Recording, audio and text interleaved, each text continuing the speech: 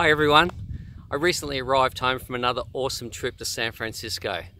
I'm feeling inspired, informed and super excited about 2019. The trip expanded my thinking around the global scaling opportunities for Video My Job.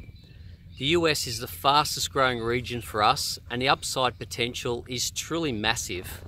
In 2018 we grew by 400% and we've already signed up some big name global companies in the first couple of months of 2019.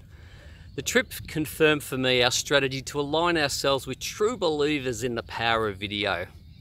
Along with my colleagues, I attended three fantastic conferences, SRSC, SaaStr, and Startup Grind. Over 12,500 people attended SaaStr and 8,000 at Startup Grind. I heard, I personally heard from 86 speakers from incredible companies including Google, Box, Qualtrics, Salesforce, Atlassian, Y Combinator and Airbnb. I even got to take a video with a few of them. At the SaaStr conference, I sat next to Steve Baxter from the Shark Tank TV show. Yeah, the tech guy on the panel. We sat through a presentation on how to stand out when pitching to investors.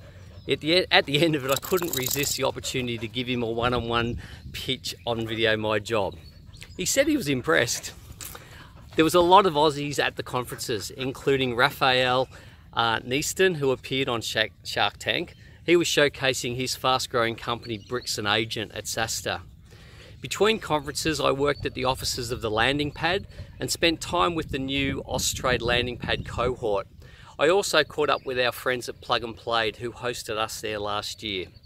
I had a chance to spend a weekend with my daughter Renee and her husband Matt in snowy Seattle. They had seven inches of snow three nights in a row. It was so cold. Must say it's nice to get back home to some warm Melbourne weather and to hang out with my Aussie Shepherd dog Indy. Thanks for watching and have a great day.